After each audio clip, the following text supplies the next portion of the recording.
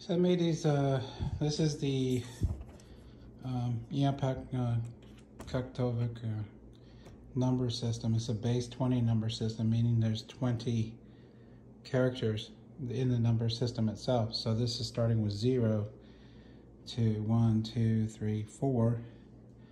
It starts again with five, six, seven, eight, nine. And so normally that would be us. That would be, that's the Roman system or Arabic system, I think is really where it came from, where it's 10. So you have 10, a base 10 system. So this continues on to, right, 10, 11, 12, 13, 14, 15, 16, 17, 18, 19. So there's 20 altogether. And you see how they build upon each other?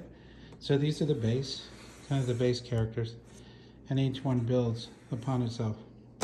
And so I made these. These are, um, well, these will be available on our Etsy store. Um, and they're good to, really, actually, these are really good. There's no cheat on the back. So you have to kind of figure out the placement. The only thing that you'll know is that with the white is the bottom, the, the blue is the top. So, um, but you still have to kind of configure, you figure it out. But the funny thing is, like if you've never seen it before and you start kind of working on it, it all makes sense. It's so intuitive. It's a brilliant little system. And I have little, you know, things here for uh, basic multiplication if you want to do some very basic math. But anyway, y'all take care. Have a good one.